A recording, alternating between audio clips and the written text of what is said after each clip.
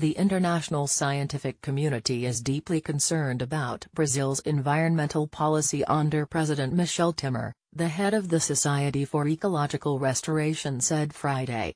We have a deep concern right now, and I know many of the people of Brazil have a deep concern right now, with the rollback of environmental protections and land protections, especially across Amazonia, the group's executive director Bethanie Walder told AFP. The warning came after more than 1,000 environmental scientists from 65 countries met in Foz do Iguaçu in southern Brazil for the SER's 7th International Congress. The meeting coincided with Temer's government being forced by a court to suspend a decree that would open up a vast natural reserve in the Amazon to commercial mining following an outcry. The American researcher said Brazil was in danger of disregarding the consequences of the destruction of its ecosystems, particularly in the Amazon.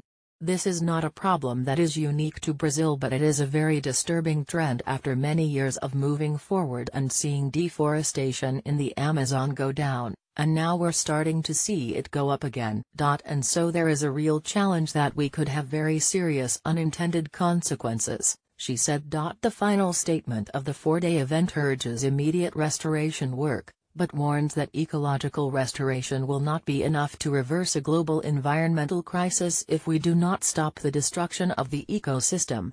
The SER called for creating appropriate legislation to that end and ensuring an active role for indigenous communities in the implementation of environmental policies, Brazil was in a leading position in Latin America but now we only see significant setbacks in environmental policy, said Vera Lex Engel, president of the World Conference on Restoration. The Brazilian researcher questioned the growing lack of means for environmental monitoring, in the context of drastic budget cuts ordered by Temer.